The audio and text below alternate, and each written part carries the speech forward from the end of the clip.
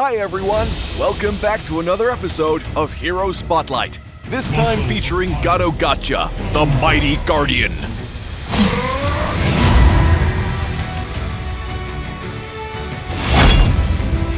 First skill, Blast Iron Fist.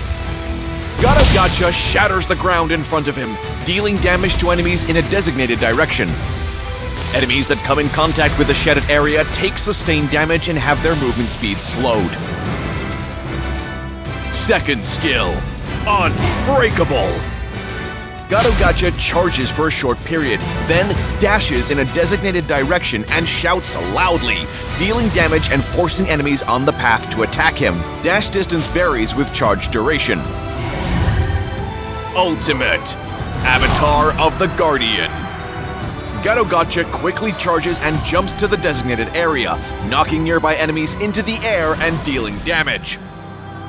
Enemy units near to the center of the area are knocked into the air for a longer duration, while enemies on the fringes will be pulled to the center.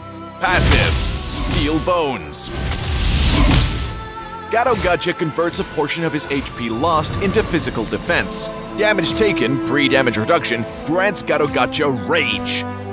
Upon reaching over a certain amount of rage, his next basic attack will be enhanced, consuming all the rage, dealing extra magic damage and healing Gatotkaca. The damage scales with his rage, level, and attack. In the laning phase, start out with Unbreakable to control enemies, leading into an enhanced basic attack and Blast Iron Fist to inflict damage. Finally, pick the right moment to strike with Avatar of the Guardian to support your teammates.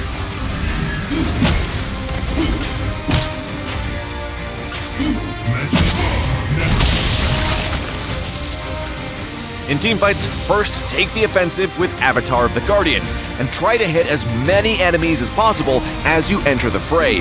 Then, control multiple enemies with Unbreakable before finishing with an enhanced basic attack and Blast Iron Fist to inflict damage. Thanks for watching our Hero Spotlight on Gatotkaca, the mighty guardian. Until next time, we'll be seeing you in the Land of Dawn.